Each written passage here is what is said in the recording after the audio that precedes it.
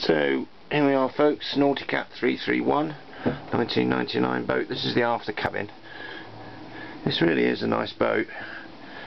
The owner knows her intimately. She's got all sorts of gadgets. And the build quality of a Nauticat just speaks for itself really. Built like the proverbial brick outhouse. Nice wheelhouse. It's great, you can put your chart on there. Got your chart plotter handy. It's all the instrumentation, VHF, and there's the AIS transponder. Companion way down into the main saloon. Linear galley, it's got a crash strap fitted, decent cooker.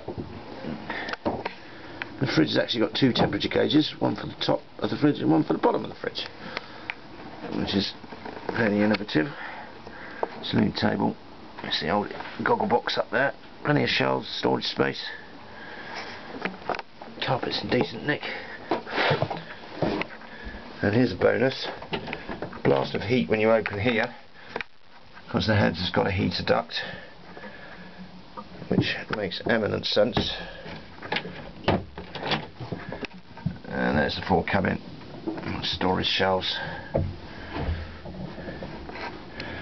Uh, hanging locker in there. The hanging locker has got a heater outlet in it as well to dry your kit. And that's the gas monitor. This is a nice boat. You really need to come and see this guys so if you want to come and see Ian at boatshedportsolent.com for email or 07885 give me a ring. We'll get it organised